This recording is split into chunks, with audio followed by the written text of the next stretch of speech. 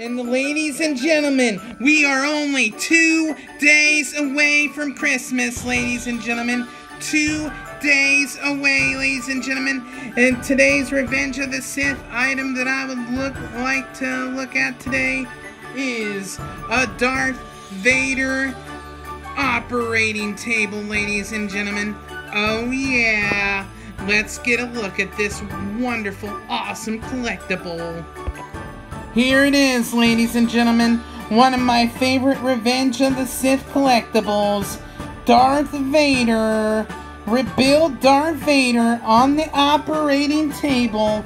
Yes, ladies and gentlemen, you can put yourself as the doctor and you can work on rebuilding Darth Vader, ladies and gentlemen.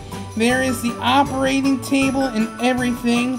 And as you can see here, here is some of his accessories.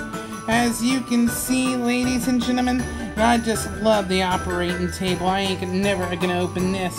And it has an awesome bunch of accessories, ladies and gentlemen. And uh, I just love the Revenge of the Sith Darth Vader stuff, man. It is pretty cool. There is a lot of things you can do. We saw uh, we saw the figure where you can change from Anakin from Darth Vader, and here, ladies and gentlemen, you can help rebuild Darth Vader with this operating table and accessories, ladies and gentlemen. It is awesome. Oh yeah.